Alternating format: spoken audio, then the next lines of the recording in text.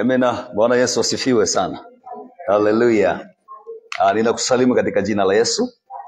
Ah, tena siku ya leo ni siku nyingine tu ambayo Mungu ametupa neema ya kwamba tuendelee kama tulivyokuwa kwamba eh, kila siku za Ijumaa na Jumamosi kwamba tumekuwa na wakati mzuri wa kwamba tuweze kuwa na wakati mzuri wa maombi na maombezi, kujifunza na kupokea neno la Mungu. Haleluya. Basi ah, leo tunaangalia kitu kingine tofauti na vile ambavyo tuliweza kuangalia jana. Nataka tuangalie katika Luka mlango ule wa Luka mlango wa kumi na tisa. Naomba fungua Luka mlango ule wa kumi na tisa. Nitasoma mstari ule wa ishirini na tisa. Taanzia pale ishirini na tisa. Uh, tutaangalia um, leo sana nitaangalia kwa kwa habari ya tutapita kwenye maeneo maeneo mbalimbali maandiko mbalimbali lakini pia tutaangalia kuhusu vifungo au kuhusu kufunguliwa. Sawa sawa tutaangalia kwa habari ya vifungo habari ya kufunguliwa. Kwa maana kwamba injili ambayo alileta yesu ni kwa ajili ya watu kuwekwa huru. Kwa hiyo tukisema watu kuwekwa huru it means kwamba kufunguliwa. Haleluya sasa tutaangalia kwamba eh, pia ni jambo ambalo tunataka tuelewe kwamba katika maeneo mbalimbali ya maisha yetu inawezekana kuna vifungo vya aina mbalimbali ambavyo vinahitajika kufunguliwa. Na tukizungumza vifungo kufunguliwa kuna aina nyingi za vifungo na kuna kila aina ya kifungo kina namna yake ya kifungo kama kilivyo ya kufunguliwa haleluya Yesu alipokuja alikuta ulimwengu umefungwa katika kifungo kikuu sana kinachoitwa dhambi, ambayo kifungo hicho kinaitwa dhambi. Dhambi anasema maandiko anasema mshahara wa dhambi ni nini? Ni mauti. Yesu akaja akaleta nuru ili kwamba au akaleta ujumbe wa ukombozi wa mwanadamu kutoka katika dhambi na katika mauti sawa sawa eh? Injili ni ufunguo mkubwa sana kwa ajili ya kufungua watu kutoka katika vifungo mbalimbali vya giza na vya uharibifu. Naomba tusome pale, nimesema Luka mlango ule wa kumi na tisa. Luka mlango wa kumi na tisa nitasoma mstari wa ishirini na tisa. Anasema hivi, mstari wa ishirini na tisa anasema ikawa alipokaribia Bethege uh, uh, na Bethania kwenye mlima uitwao wa Mizeituni, alituma wawili katika wanafunzi wake akisema, nendeni mpaka kijiji kile kinachowakabili, na mtakapoingia ndani mtaona mwanapunda amefungwa, ambaye hajapandwa na mtu yeyote bado. Mfungueni, mleteni hapa. Na kama mtu akiwauliza mbona mnamfungua, semeni hivi, Bwana ana haja naye. Na wale waliotumwa wakaenda wakaona kama alivyowaambia. alivyowaambia, na na walipokuwa wakimfungua mwanapunda e, wenyewe mwe, wenyewe aliwaambia, mbona mnamfungua mwanapunda? Wakasema Bwana ana haja naye. Wakampeleka kwa Yesu, wakatandika nguo za, zao juu ya mwana punda, wakampandisha Yesu. Na alipokuwa akienda, walitandaza nguo zao njiani. Hata walipokuwa wamekaribia matelemko ya mlima wa Mizeituni, kundi zima la wanafunzi wake walianza kufurahi na kusifu Mungu kwa sauti kuu kwa ajili ya matendo yote ya uweza e, waliyoyaona. Wakasema, ndiye mbarikiwa mfalme ajaye kwa jina la Bwana, amani mbinguni na utukufu uko juu. Baadhi ya Mafarisayo walikuwa katika mkutano, wakamwambia mwalimu, wakanye wanafunzi wako. Akajibu akasema, nawaambie ni wakinyamaza hawa mawe yatapiga kelele.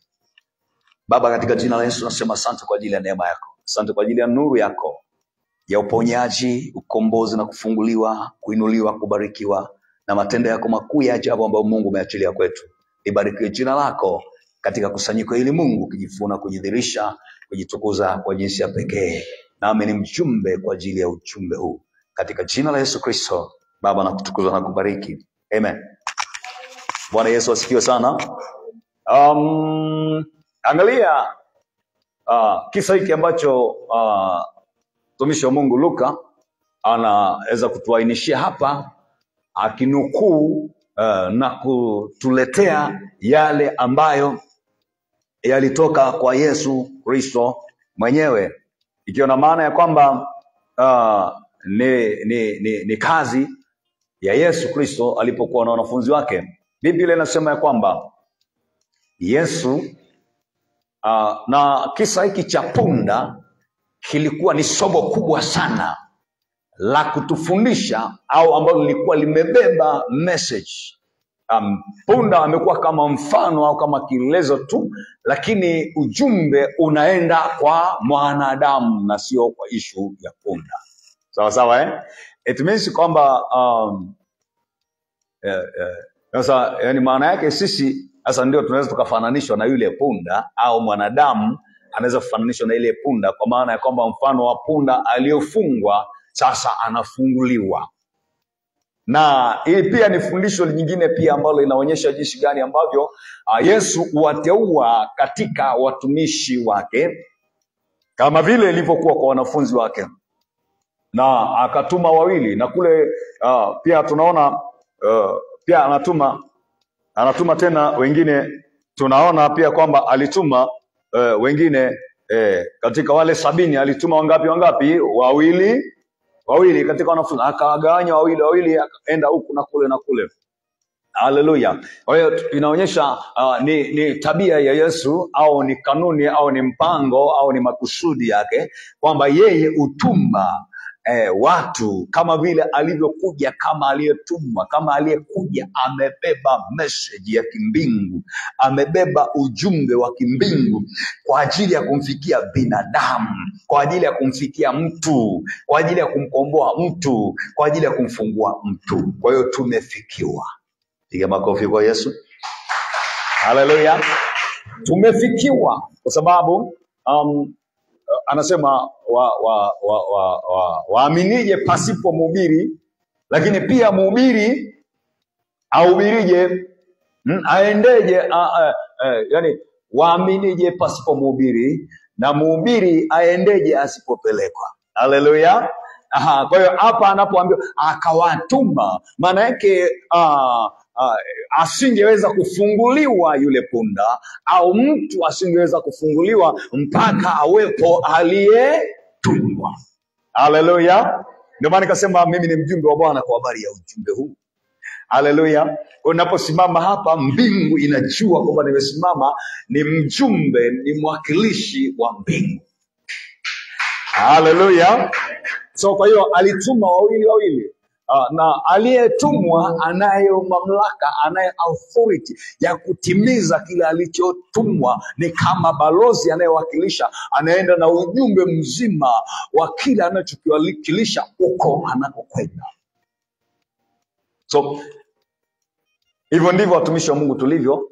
Kila ambaye mungu amemteua na kumtia mafuta ni mjumbe ni mwakilishi wa mbingu akiwa amebeba message akiwa amebeba ujumbe haleluya so walipofika kama wajumbe waliobeba message ujumbe wa mtu kufunguliwa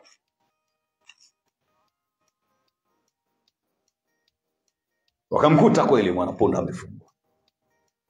Na sasa ujumbe ni nini? Afunguliwe. Lakini waliambiwa hivi mtakapoenda mtakutana watakaozuia wenye kuwamiliki wenye kumfunga aliyemiliki aliyemfunga aliyemweka pale. Lakini nimewapa mamlaka ya kumfungua. Lakini wenyewe wakiwauliza ukitaka kuwazuia waliomiliki, waliomkamata waliomfunga waambieni bwana anaja naye.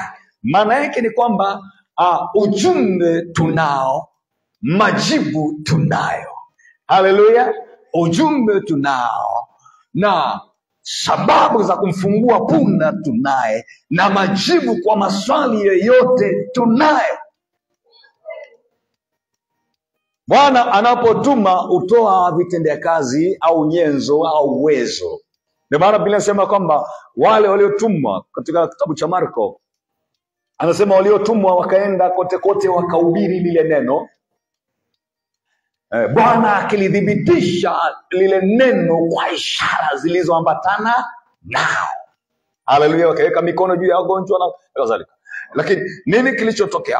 Udhibitisho ulithibitisha lile neno kwamba wametumwa na Bwana, wametumwa na mbingu, ni wawakilishi kwa ajili ya mbingu. Haleluya! Yes, ndicho kilichofanyika kwa wanafunzi au waliotumwa, waliambiwa nendeni, walipewa uhakika kwamba mtaenda na mtafanya hivi, na akitokeza mtafanya, mtatoa majibu namna hii. Halo, halo, Bwana Yesu asifiwe sana. Sasa kwa sababu hiyo, tafsiri yake inaonyesha hivi, basi akiwepo aliyofunguliwa, ni sharti afunguliwe. Kwa kila sababu, sharti afunguliwe. Yaani kwa sababu yoyote ile, hakuna sababu maalum inayozuia. Shetani ana sababu maalum. Sikiliza nikwambie, tunasimama kuhubiri habari za Yesu tukiwa na kila sababu ya kuwafungua watu, kwa sababu tunao ujumbe na yupo aliyegharimikia huo ujumbe, ambaye kwa damu yake msalabani Yesu Kristo alisema imekwisha, ili ya kwamba kila atakayefikiwa na ujumbe huu, ujumbe huu ni halali kwake kwa ajili ya kumfungua. Haleluya! Kwa asiwepo mtu yoyote atakayethubutu kusema ya kwamba "Ah, ah, sio mimi, ah, sijui, hapana, miungu ya kwetu haijakubali, mizimu haijakubali, mashetani haijakubali. No, no, no. Maana yake ni kwamba hivi, wewe tayari umekwisha kufiwa msalabani tayari, ujumbe umekwisha, eh, ukombozi wako umekwisha kutolewa, umekwisha kugharimiwa. Haleluya! Unayo kila sababu ya kuwa huru. Ongeza tena makofi kwa Yesu. Nasema hivi, kila mmoja anayo sababu ya kuwa, anayo sababu ya kufunguliwa, anayo haki ya kuwekwa huru. Anayo mtu haki, lakini amenyang'anywa haki. Ndio maana wanatumwa hawa ili waende wakampe haki ya kufunguliwa yule aliyenyang'anywa haki.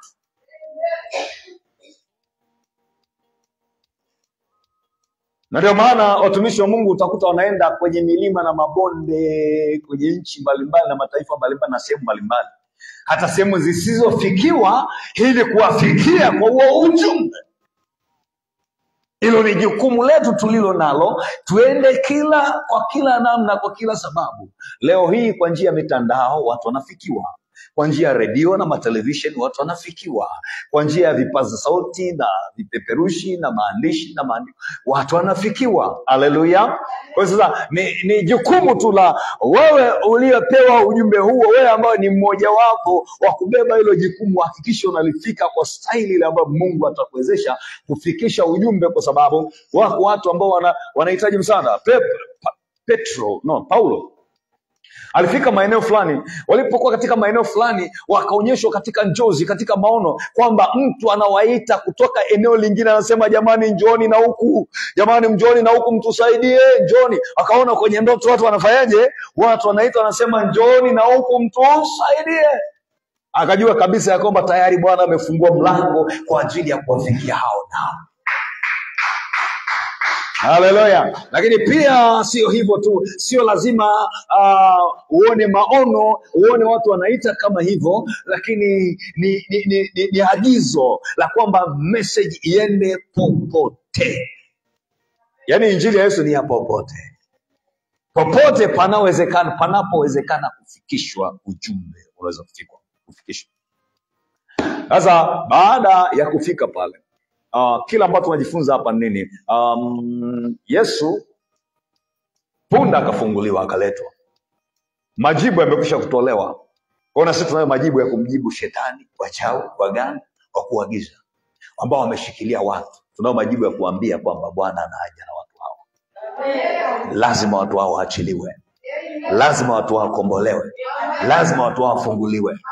Haleluya kwa sababu upako tunao mamlaka tunaye nguvu tunayo. Haleluya. Alafu damu ya ukombozi msalabani tayari ilishamwagika.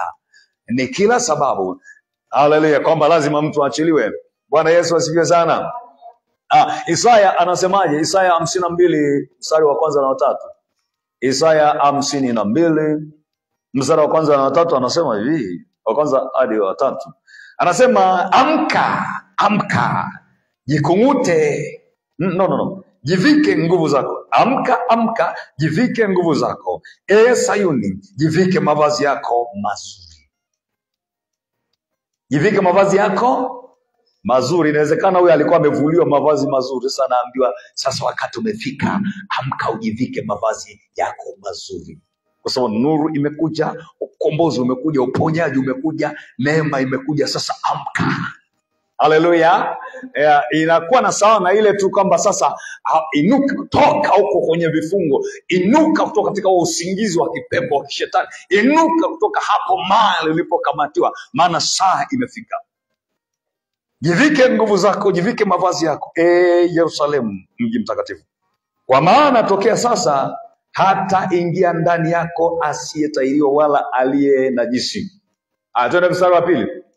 Mstari wa pili anasema jikung'ute mavumbi uondoke jikung'ute mavumbi uondoke uketi uondoke uketi e yerusalemu jifungulie vifungo vya shingo yako e binti sayuni uliyefungwa Aha. Hapo mtu anaambiwa hivi, inuka utoke kwenye nini? Kwenye mavumbi, jikung'ute mavumbi yako uondoke, maana ni time ya kuondoka.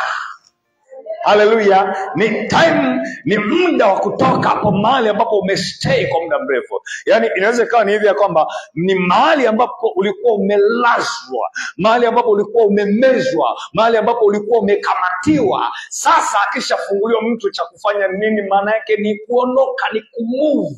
Lazima zionekane movement ya kwamba mtu huyu sasa amefunguliwa, hakuna kama tena tena. Tazama kilichotokea yule mwanapunda baada ya kufunguliwa, akambeba Yesu. Haleluya! Akambeba nani? Yesu. Maana ya kumbeba Yesu ni nini? Ni inuka, jikung'ute mavumbi yako, uondoke, uketi. Haleluya! Uketi maana yake nini? Uketi, kwe, ukae kwenye enzi, kwenye nafasi yako, kwenye umiliki wako. Haleluya! Kwenye utawala. Kuketi maana yake unaketi kwenye kiti kiti kuketi ni kwenye kiti. Kiti maana yake nini ni utawala. Kiti maana yake ni umiliki. Kiti maana yake ni imani. Maana yake unamiliki anamiliki aketie kwenye kiti. Anamiliki nchi aketie kwenye kiti cha ufalme. Anamiliki nchi aketie kwenye kiti cha urais. Aketie kwenye kiti cha mamlaka haleluya. Lakini hakuna mahali inaonyesha ya kwamba aliyeanguka chini anamiliki aliyeko chini mavumbini anamiliki. Hapana. Mungu mwinua mnyonge kutoka mavumbini. Hapo chini kwenye ground. Hapo chini pasipofaa. Hapo chini kwenye mavumbi ni jalalani. Hapo chini kwenye mavumbi ni kwenye takataka. Hapo chini ni kwenye uharibifu. Lakini sasa mungu nuru ya kristo inapokuja neema ya kristo inapokuja inamwinua mtu from down to up kutoka chini kwenda juu. Kutoka chini amelazwa chini ananyanyuliwa na keti kwenye kiti haleluya aliyeko chini maana yake ni mmilikiwa. Aliyeko chini maana yake ni mtawaliwa. Aliyeko chini maana yake ameadhibiwa na chapo viboko. Aliyeko chini maana yake ni mfungwa anaambiwa keti chini. Mm, uko chini ya ulinzi kaa chini. Maana uko chini ya nini? Ya ulinzi. Ukikamatwa unaambiwa kaa chini. Yaani lazima ukae kwanza chini ili kwamba ndio umejisalimisha ndio sawa maana yake ukinyanyuka maana yake unataka kupambana. Maana yake ukinyanyuka maana yake unataka kutetea imaya yako. Sasa lazima ukae chini ili kwamba wewe umeshindwa tayari uko chini ya ulinzi wewe si kitu wala si chochote na ukiwa chini huwezi kupigana huwezi kupambana. Ili kupambana lazima uinuke uwe juu alafu ndio fight. Ukishapigana ah ukishajikung'uta, sasa unaketi kwenye chini kwenye kiti. Haleluya! Aliyeketi kwenye kiti, maana yake ametetea himaya yake, ametetea kiti chake, sasa amekipata. Hata wanapofanya uchaguzi, wanapofanya kura, eh, wanafanya kampeni, si wanatembea wanajaribu wana, wana, wana, kujibaraguza kwa namna zote ili kutetea ile nafasi, alafu akishaipata sasa anaketi ofisini eh, aidha kwenye kiti cha kuzunguka zunguka. Sasa sasa tayari ana rule, sasa tayari anatawala, sasa tayari uko kwenye kiti, sasa tayari uko kwenye mamlaka. Haleluya! Hivyo ndivyo Bwana anahitaji akuweke kwenye kiti. Ni mpango na makusudi ya Mungu. Mungu akuweke kwenye akuweke kwenye kiti. Haleluya! Akiweke it means kwamba kwenye utawala, kwenye imaya yako, kuna watu ambao wana wako kwenye imaya zao wameketisha, wamelazwa chini, wako mavumbini, wako kwenye vifungo, ijapo kwa ili zile imaya ni za kwao, maana yake hawana ruksa ya kula. Anayekula anaketi kwenye kiti, anakula mezani. Yaani kiti na meza ni vitu ambavyo vinaelewana, lakini ulishawahi kuona mtu amelala chini alafu kawekewa meza? Huyo aliyelala chini hatawekewa meza, atatupiwa hapo chini kama mbwa ile arambe ale huko chini kama mbwa, kama anayekula matakataka au anayekula uchafu asiyefaa. Lakini wa heshima ataketi kwenye kiti, kwenye kiti, alafu ataandaliwa meza.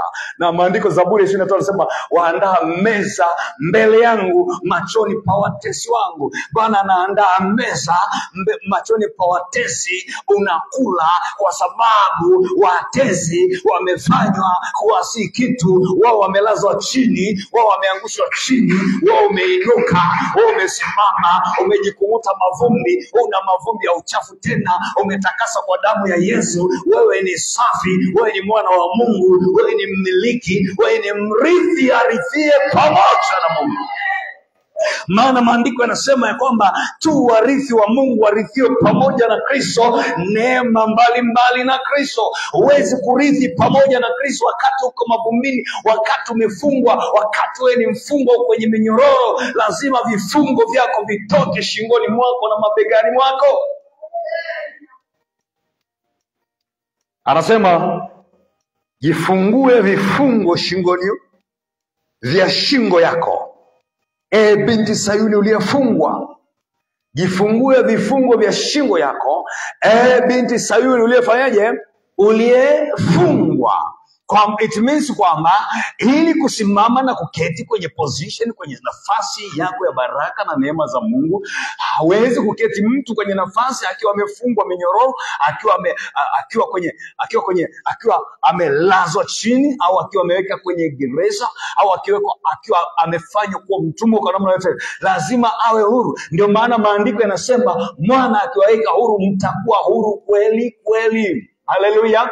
Lazima kifanyike kitendo cha kuwekwa huru, lazima kifanyike kitendo hapo. Anaposema jifungue vifungo, it means kwamba kuna vita ambayo lazima uipigane katika ulimwengu wa roho, ya kupambana na vifungo vilivyofunga eneo fulani la maisha yako, linalozuia usiperform vizuri, au vinavyozuia ilo eneo lisiyo na matokeo. Ni vita, kama tulivyojifunza jana kwamba vita vya kiroho Haleluya, tumepewa silaha za kupambana katika ulimwengu wa roho, kupambana katika vita vya kiroho, kupambana na madhaba- madhabahu za giza, kupambana na nguvu za giza, kupambana na majeshi ya adui, ili ya kwamba tuweze kutetea, kumiliki haki zetu ambazo Mungu ameziachilia kwa ajili yetu.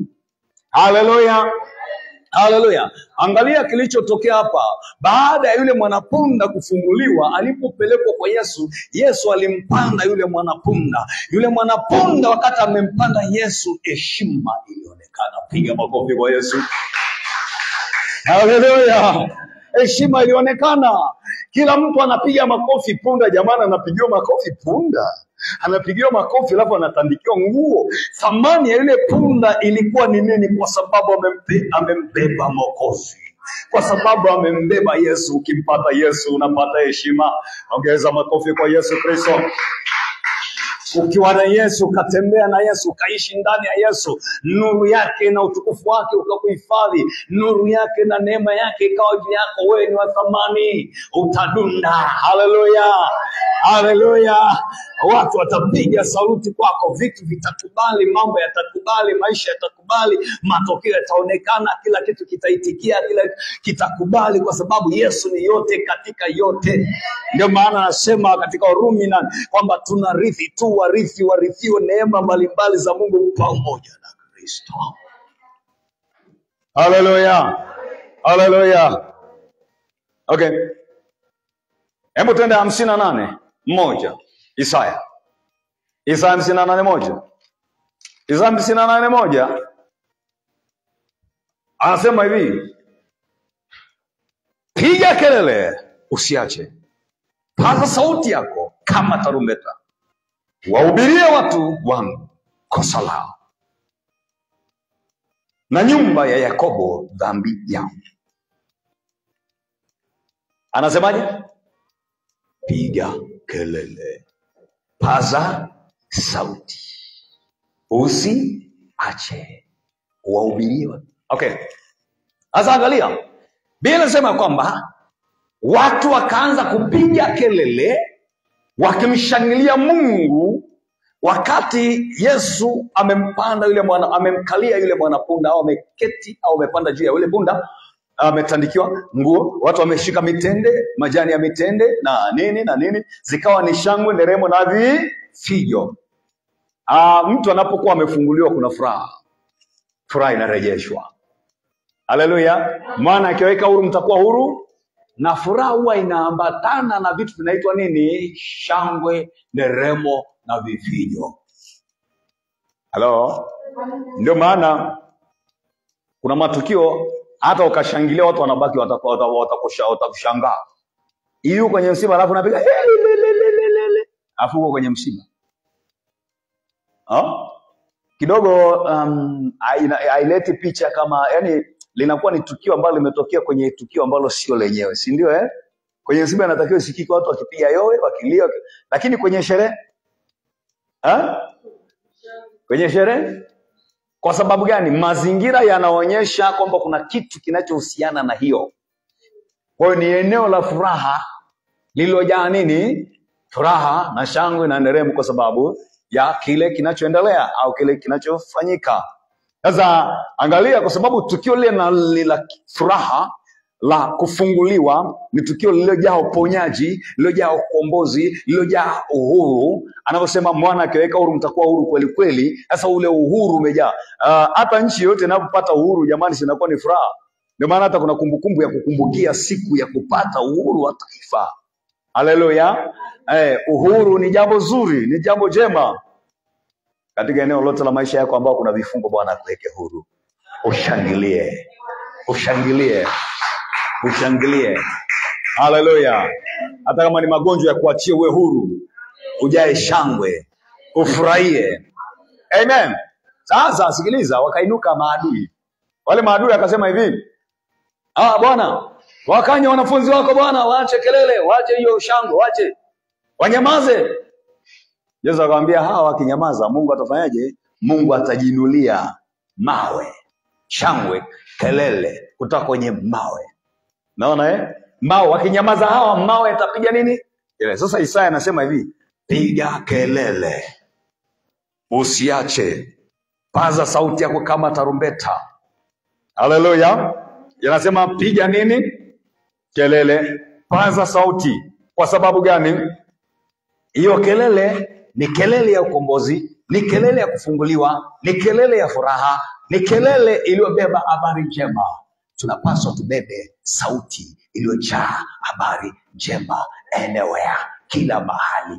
Sauti, habari zetu, habari za Mungu wetu zikaenee kila kona, habari za baraka, za amani, za kubarikiwa, za kufunguliwa zienee kila eneo, zienee kila mahali, watu wafunguliwe kila mahali. Yawe maombi yako kama ilivyo maombi yangu. Haleluya! Na hilo ndilo kusudi la Mungu, kwamba popote mtu yote aliko, sio mtu aliye si, yani kilio chako sio furaha ya Mungu. Furaha ya Mungu ni, fu, ni, ni wewe ufurahi kwa sababu alilia pale msalabani. Yesu Kristo alilia, aliomboleza kwa ajili yako, ili kugeuza, kama Zaburi anavyosema kwamba ameyageuza machezo yangu kuwa furaha na kicheko. Haleluya! Amegeuza msiba wangu kuwa kicheko, eh? maombolezo kuwa machezo. Halo, mtu anayeomboleza anajikunga anasinyaa, lakini kwa machezo eh, furaha lazima kuna na- nafanyeje na kucheza, kwa sababu kuna kitu chema, kuna kitu kizuri. Oh my God, Bwana ageuze kilio chako kuwa furaha, ageuze ma, uh, msiba wako majonzi yako kuwa machezo katika jina Yesu. Haleluya! Najua kuna mtu ananisikiliza pale na anaipokea hiyo. Kama usipoipokea ulioko hapo, kuna mtu anaipokea pale. Haleluya, haleluya! Hilo ndilo neno la Mungu kwamba injili inaleta chenji, inaleta mabadiliko, inaleta nuru, inaondoa giza, nuru inaingia, nuru inashika nafasi. Haleluya, haleluya! Bwana Yesu asifiwe sana.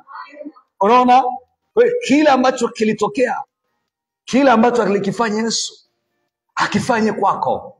Haleluya! Ule ni ujumbe wa wewe unanisikiliza popote ulipo, wewe unayetumikishwa na uliyobeba mizigo, uliyefungwa wewe, uwe huru wewe, ukombolewe ufunguliwe wewe, eh, mateso yaondoke kwako, badala ya dhiki iwe furaha, badala ya mateso na maombolezo iwe machezo eh, shangwe zijae mpaka maadui zako waanze kupiga kelele, waanze, ku, waanze kugumna kwamba "Ah, ah, si waache, si wapunguze basi hata angalau sawa, wamekushinda, si wapunguze basi. Lakini hapo inaambiwa hakuna kupunguza. Halo, asikupunguzie mwendo mtu yeyote yule, asikunyamazishe mtu yeyote yule. Haleluya! Akijaribu kukunyamazisha mtu, zidi kuinuka. Haleluya! Zidi kupaza sauti eh? Maana yake zidi kupaza, kupaza sauti ni kutamka, ni kukiri. Unakiri ushindi, una kitu unatamka. Kuna matamko ya imani ambayo hutamkwa na watu wa Mungu ambao huleta matokeo. Unajua neno linalotamkwa katika Mungu, katika imani katika tumaini kuu huleta matokeo makuu. Neno lililotamkwa katika faraja kubwa, katika ujasiri na imani kubwa, lililotamkwa katika neno la Mungu, iliyotamkwa katika maombi huleta matokeo. Haleluya! Ndio maana maandiko yanasema moyo uliochangamka ni dawa njema. Sasa wale watu wamechangamka, wale wenye mioyo mizito, ambayo mioyo mizito na roho nzito huleta mauti na uharibifu, lakini moyo uliochangamka huleta eh, ni dawa, huleta majibu, huleta matokeo mazuri. Haleluya! Sasa wale ambao wako katika mauti na katika kuangamia wanajaribu kugandamiza, kuwaleta tena katika shinikizo la gandamizo wale waliojaa furaha, wale ambao tayari wamekombolewa. Lazima uwe makini, kwa sababu walio katika vifungo vya giza watatamani kukulet down kwa maneno yao, kwa makwazo yao, kwa masumbufu yao, kwa kwa sababu wao bado ni wajumbe kwa habari ya mauti na uharibifu. Wewe ni mjumbe kwa ajili ya habari njema, umejaa furaha, umefunguliwa. Kumbuka kwamba watajaribu wata, wata, watajaribu kutumika, watatumiwa ili kukurudisha tena kule ulikotoka. Lazima uwe makini. Halo, halo, eh, you must keep forward. Haleluya! Yani unapaswa yani ni kusonga tu mbele. Walipoleta changamoto ya kuwanyamaza Yesu akasema "Mm, no, no, no, no. no." Hata Yesu akuwasemesha wale, wanaendelea wanaendelea kufurahia baraka zao, uzima wao, furaha yao, amani yao. Yesu hata kuwasemesha yale wajibu wale wapinzani tu, akanyamaza zake, akamwambia hawa ni wakinyamazwa hawa, wakinyamazishwa hawa, Mungu anaweza kujinulia hata na wengine, anaweza kujinulia mawe, anaweza kujinulia chochote, kwa sababu Mungu anatamani aone hivyo. It means kwamba Mungu anaweza kuwa mawe, mawe inaweza ikawa na maana ya kwamba watu wasiofaa ambao hawakuwa maana Biblia inasema sisi ni mawe yaliyo hai. Amen. Kwa hiyo yale mawe yatakayoinuliwa maana yake ni wengine ambao bado hawajaokolewa. Mungu anaweza kuwainua hata makaba, wazinzi, walevi kule wakaokolewa, watu sijui eh, wakaokolewa, bado wakafanyaje? Wakamsifu Mungu. Haleluya. Bwana Yesu asifiwe sana. It means kwamba usiposimama kwenye nafasi yako, ya kumtukuza Mungu na kumtumikia Mungu. Mungu anao watu wengi, anaweza kujinulia watu wengi katika maeneo mbalimbali, wakasimama katika kusudi Mungu. Haleluya! Kwa simama katika neema na katika neno la Mungu, katika kusudi la Mungu. Unapokuwa tayari umefunguliwa, songa mbele. Haleluya! Ndio maana hapa anasema ya kwamba inuka, jikungute mavumbi yako, maana nuru yako imekuja. Haleluya! Usonge mbele hmm? Oh, kusonga mbele siku yote kunakuwa kuna kuleta kwenye matokeo halisi, kuna kuleta kwenye faraja kamili. Um, unajua uh, ukitoka pale unapofungulia lazima utoke kwenye yale mazingira Amen. Kwa sababu yale mazingira tayari ulishayazoea, yale mazingira tayari yamejaa, ya- yanaashiria ashiria vifungo vifungo. Lazima sasa uende kwenye position za enzi za ukuu za utawala za umiliki eh? Lazima usima, usimame sasa mahali pa juu panapoonekana.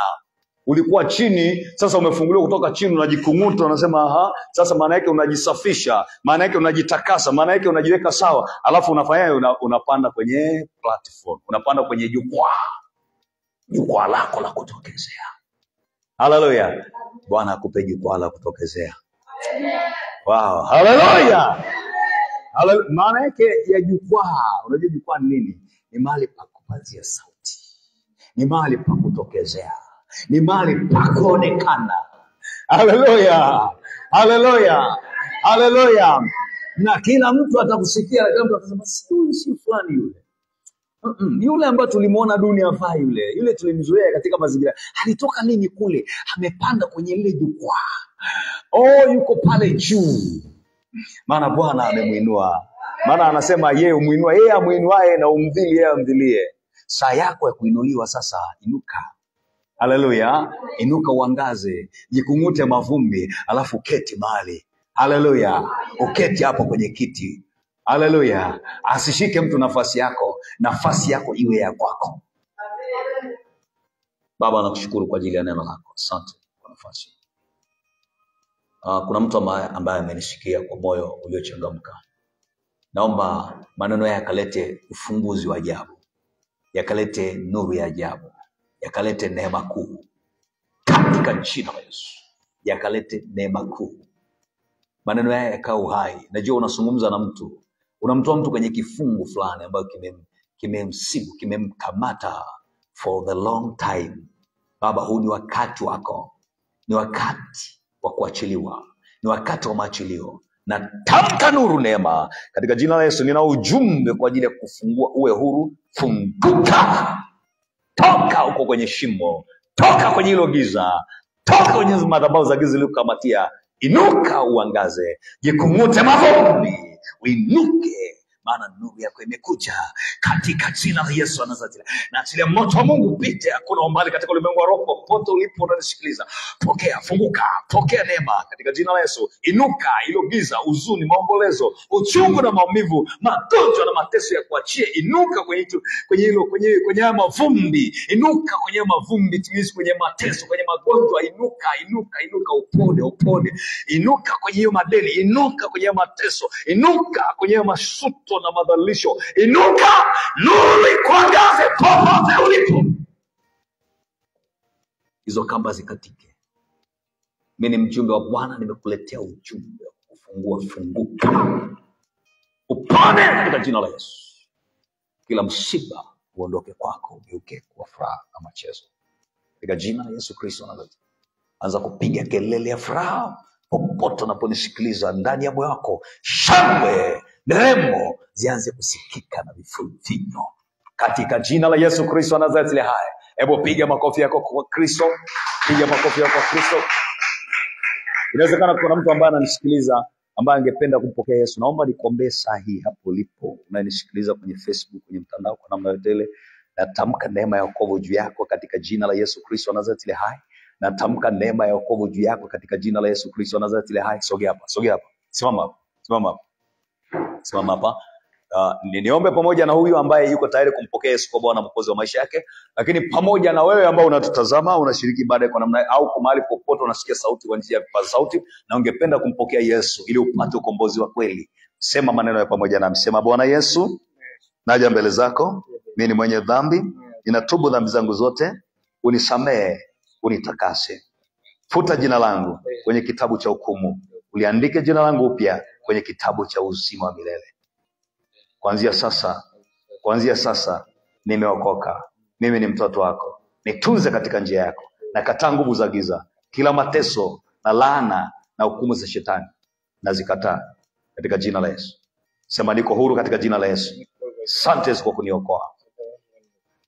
Baba, anatamka neema juu ya kila mmoja ambaye amefuata maneno haya popote alipo. Natamka nuru ya wokovu katika jina la Yesu aliye hai, na ng'oa madhabahu zote na vifungo vya giza katika jina Yesu. Achilia neema yako, achilia ukombozi wa kweli, achilia uponyaji, achilia wokovu wa kweli. Wewe ni Mungu uokoaye, umekuja kwa ajili, umeachilia nuru na umeleta ukombozi kwa ajili ya wote waliosetwa, waliofungwa na giza, waliofungwa na shetani, waachiliwe katika jina Yesu. Namfungua kijana na achilia nuru vyake na ng'oa mauti ng'oa mauti, ng'oa mateso, piga kila roho, toka ndani yake, toka ndani yake, toka ndani yake. Wewe shetani ambaye umekuwa ukimtesa huyu, toka mwachie, toka mwachie, toka mwachie, toka mwachie. Navunja laana zote, navunja maroho yote, toka kila mahali alipokamatiwa, kila mahali alikohifadhiwa kwenye madhabahu za giza, namtoa katika jina la Yesu, namtoa katika jina la Yesu, na ng'oa kila madhabahu, miungu yote na kila roho zimwachie, awe huru kuanzia sasa. Roho ya wokovu iwe juu yako katika jina la Yesu Kristo. Umeokoka wewe unanisikiliza, pokea hiyo roho ya neema na wokovu iwe juu yako, na mateso yote ya kuachie iwe mwisho kuanzia leo katika jina la Yesu Kristo Nazareti aliye hai. Piga makofi kwa Yesu.